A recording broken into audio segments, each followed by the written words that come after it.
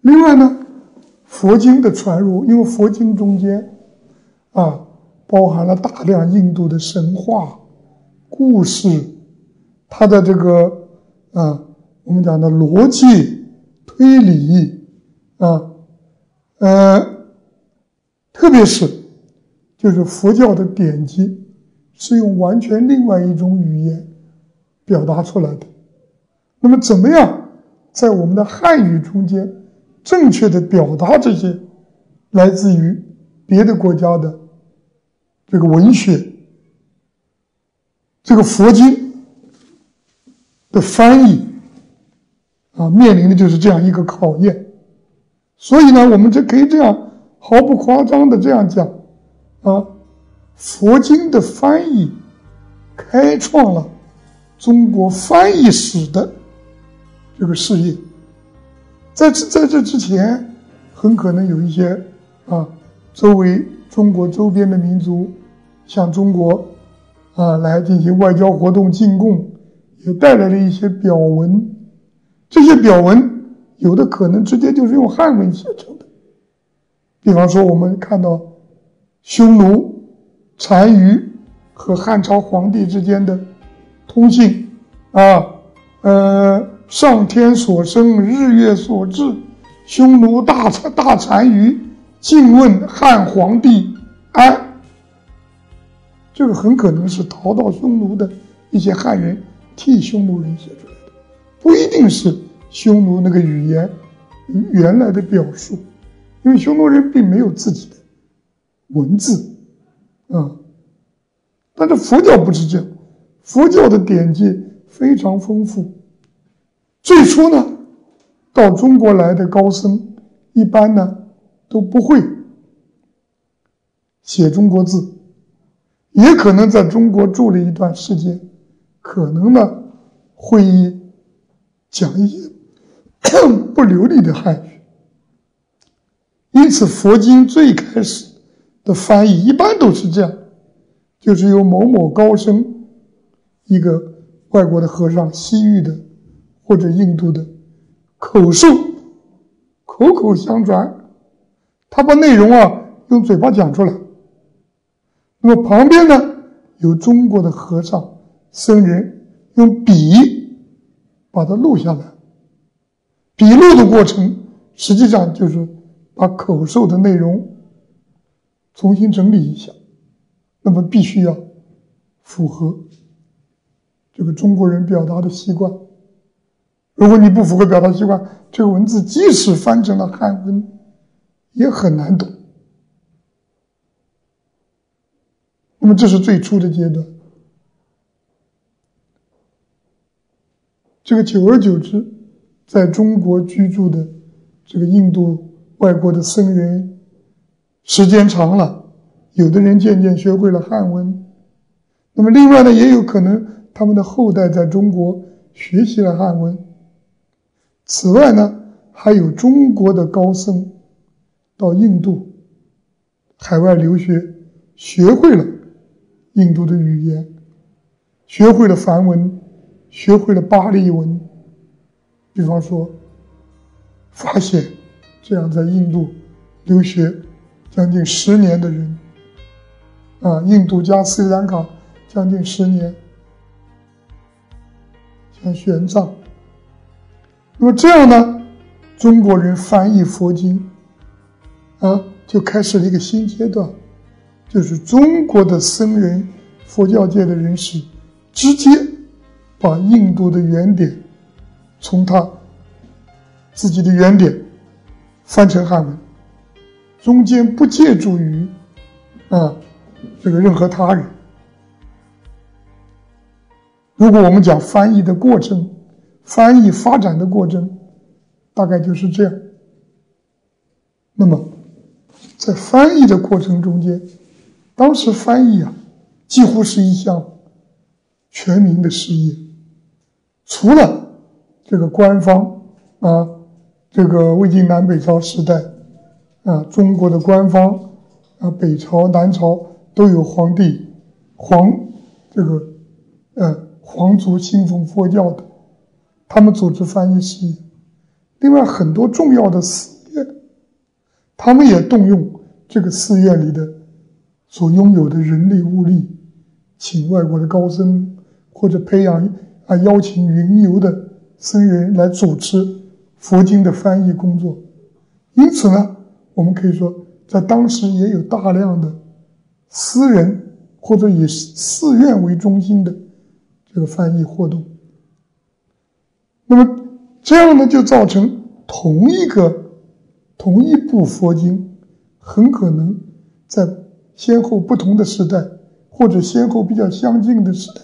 甚至在同一个时代，被不同的寺院、不同的僧人反复的翻，因为互通、互相不通消息啊，消息没有今天这么灵便。拿我们今天来讲，《马可波罗游记》还有好几个版本呢，是吧？不同的人翻的，红与黑，是吧？也有不同的人在那里翻。那么，不同的人翻译佛经，同一部佛经，那么就让中国人有了一个。比较的可能性，就两个不同的翻译有什么不同啊？啊，两个寺院中间，这个这个寺院是由这位高僧主持的，那位那个寺寺院是由那位高僧主持的，这两个寺院翻出来的东西有没有区别？啊？那么总的来说，从翻译的水啊水平，我们如果翻错了，我们就姑且不论啊。如果我们从翻译的风格上来讲，那么就形成了不同的风格。有一种，有一派叫做文，文化的文。什么文呢？就是用印度的话，不管它原文是怎么表达的，翻成中文一定要符合中国人的习惯，要表达给人看出来，让中国人读的觉得顺口。这是第一种。那么第二种翻译的风格是什么呢？质，质量的质，什么意思呢？就是要忠实于原文啊。这个佛经的原点那个话是怎么说的？那么你就不能轻易的改动，要按它的原话翻译过来啊。这是两派文和质两派。在进行斗争，啊，各有各的追随者。那么当然，这个佛经翻译的最后的这个结局和一切翻译事业是一样的，就是我们今天有一句话来概括，叫什么呢？有这么几个字，叫做“信达雅”。信就是可信，没有背离原文的。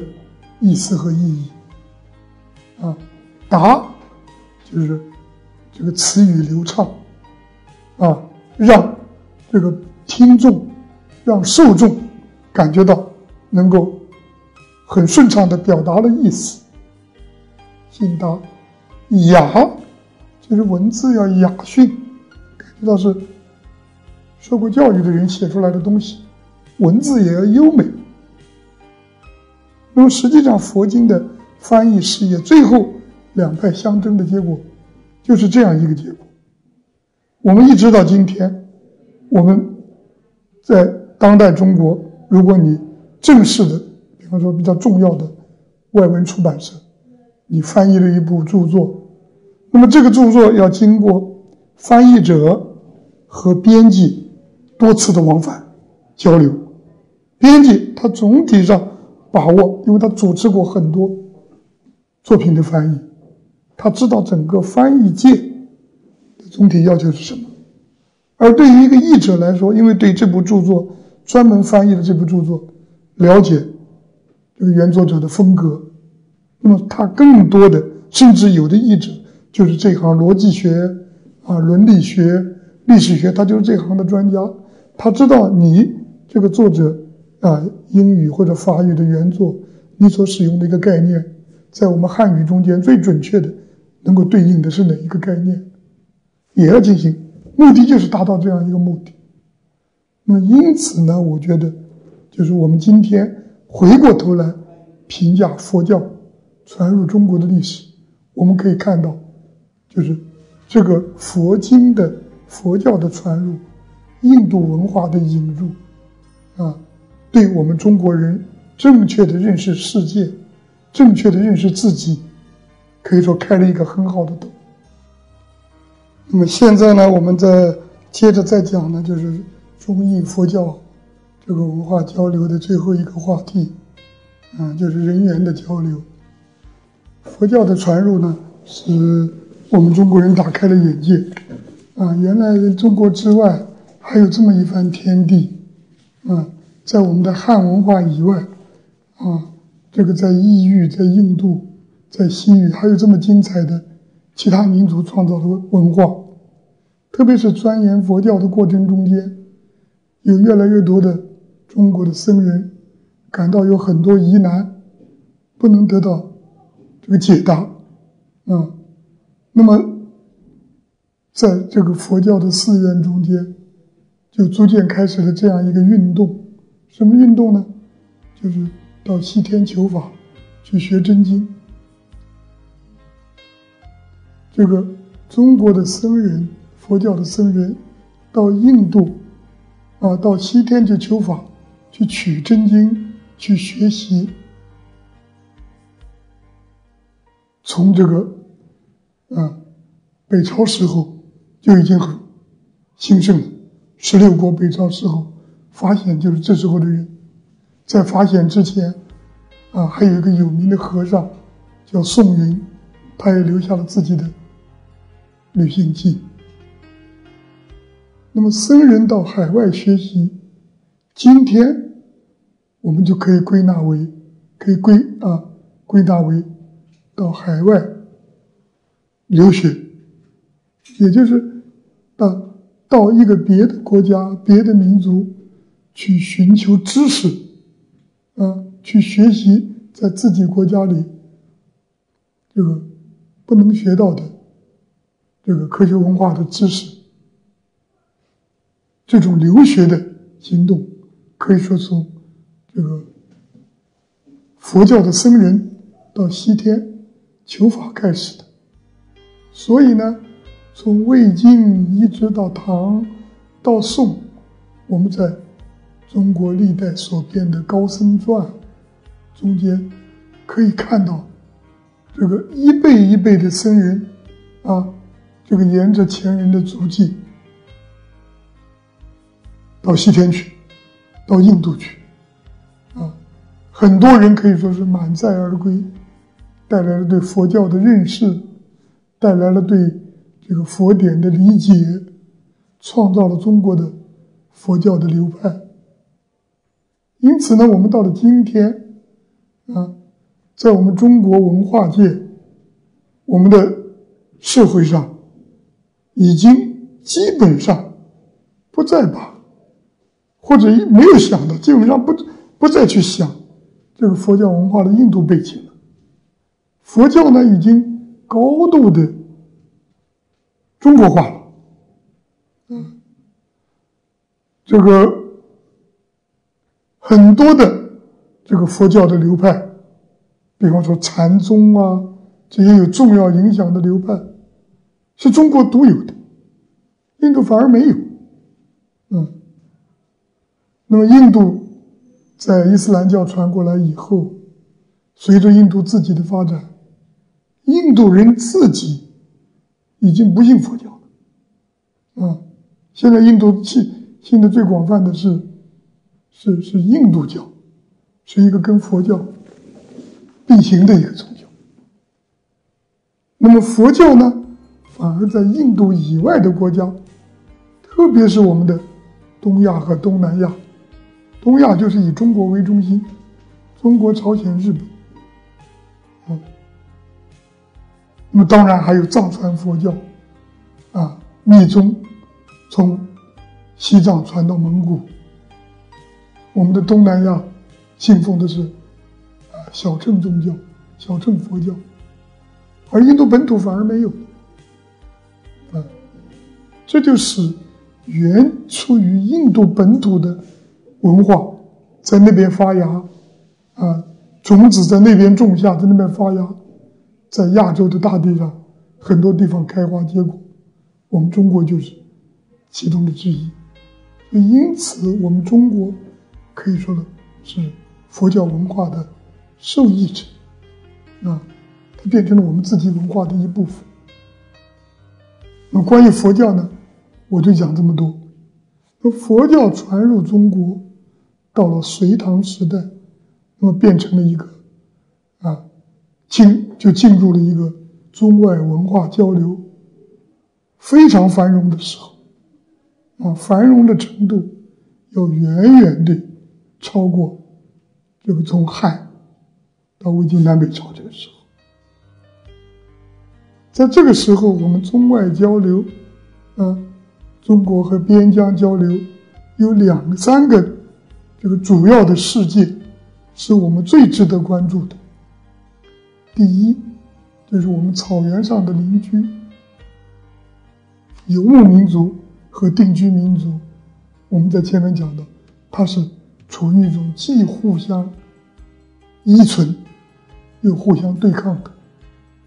定居民族需要游牧民族的马匹，需要民族的这个肉，游牧民族的肉产品，嗯，游牧民族需要定居民族的粮食，需要手工业品。那么在年成不好的时候。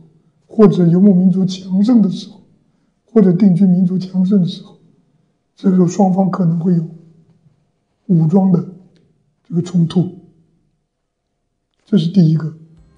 第二个，我们的邻居呢，就是内陆亚洲的绿洲地区。嗯，在汉代，主要是西域三十六国，西汉的时候三十六国，到了东汉，变成了五十多个国家。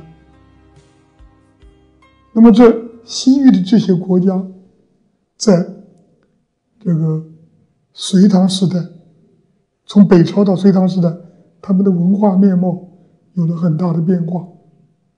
基本上的文化的代表就是粟特人，我们下面再介绍。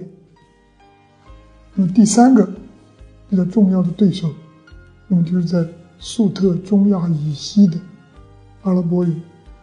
大师，那么我分这样几个这个呃对象来一一加以介绍。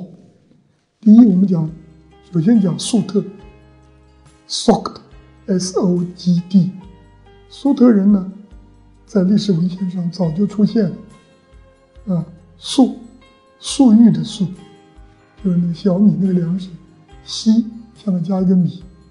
特别的特，粟特。那这个民族早就产生了，在这个我们前面讲的公元前六世纪啊，雄居于我们亚洲中部和西周的和中亚和西亚的那个波斯帝国时期，公元前三世纪亚历山大东征的时期，这个民族就已经存在了。他们的中心在什么地方呢？中心在阿姆河和希尔河之间的一些绿洲上面。那么这个民族呢，我们中国呃北朝的时候习惯把他们称之为昭武九姓。啊，昭就是王昭君那个昭，武装的武。我们中国的史书说啊，说粟特人原来居住在中国河西的昭武城，啊，那么后来西迁到了中亚，那么为了不忘本，他们就把自己就称之为昭武，这只是一种中国人所记载的传说而已，我们没有立任何考古的发现和历史文献能够证明。粟特人是起源于中国河西地区的，那为什么会产生这样一个啊很奇特的这样一个传说，说粟特人起源于河西走廊呢，那么很可能是中国境内的人对贵霜王朝他的祖先大肉之人起源于我们的河西的一种很模糊的回忆和认识。这个粟特的文化的中心，阿姆河希尔河之间有两个最重要的城市，啊，撒马尔罕、布哈拉，啊，布哈拉，啊，布哈拉在唐朝叫安全的安叫安国，安全的安叫安国，呃，在北朝时候也叫安国。为什么呢？就是在布哈拉这个绿洲上，当时有一个重要的一个绿洲城市叫阿兰蒂，所以我们把它叫安国。凡是从布哈拉来到，就我们中原的人，我们在给他的名字前面都加上一个安。啊，比方说安史之乱的那个那个为首的安禄山，他就是布哈拉。祖先就是布哈拉的，啊，就是这个每一个粟特人，我们都习惯于在他的名字前面。撒马尔汗呢，啊，我们习惯上把它叫做康国人，健康的康。撒马尔干的，干的就是康这个字了，干的在粟特语中间就是城市的意思，所以我们经常有啊康僧会。啊，康这个康那个，都是从撒马尔罕来的。嗯，这个呃，撒马尔罕以南还有个城市叫 Kish，我们把它中国古代啊，隋唐、魏晋时代、呃北朝时代，我们把它叫做史史国，历史的史史思明，是不是就是这里来的？等等，还有姓何。何国，这都是把一个绿洲视为一个国家，来自于这个绿洲的人，都叫这个绿洲的，以这个国名放到最前面，以示区别，否则很难区分。嗯，那么这种用法，我们今天当代中国还有人某某人小山东啊，怎么还有这样的？